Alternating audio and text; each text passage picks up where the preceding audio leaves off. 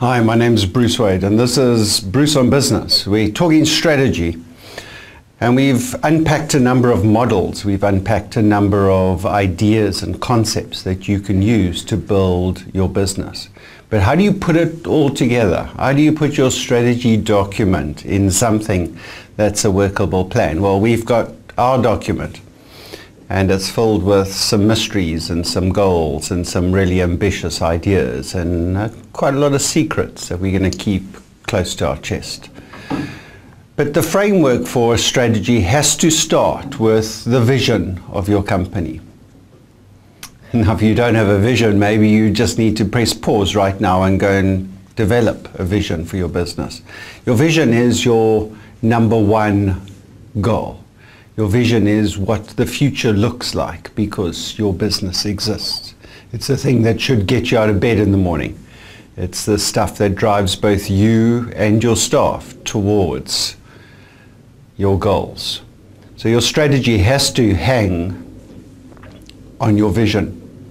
Underneath that vision, five focused areas. Now, you know, we don't need to work on everything in your business. You don't need to have a complete all-rounded strategy.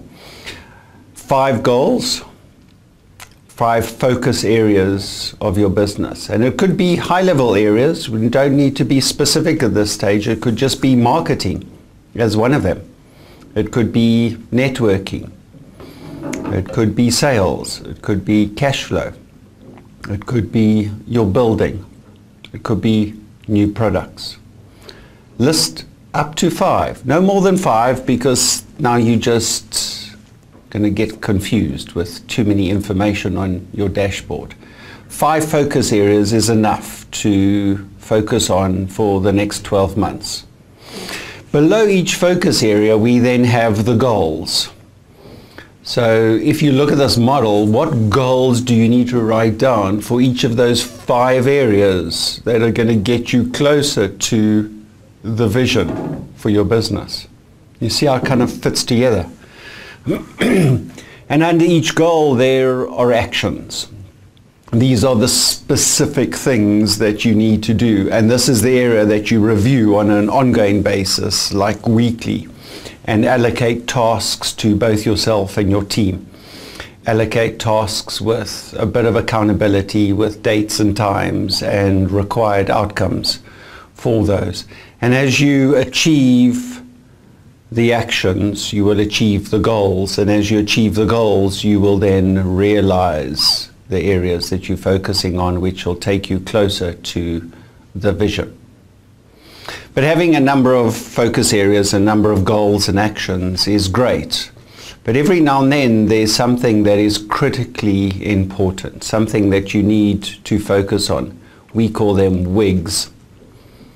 No, not the thing you put on your head, but the wigs, wildly important goals. Goals that are more important than anything else due to circumstances, due to opportunity, due to financial availability. What are your wildly important goals? Now for our company we have five focus areas for this month. We have a number of goals and a whole bunch of actions that need to be done that is spread around the entire team.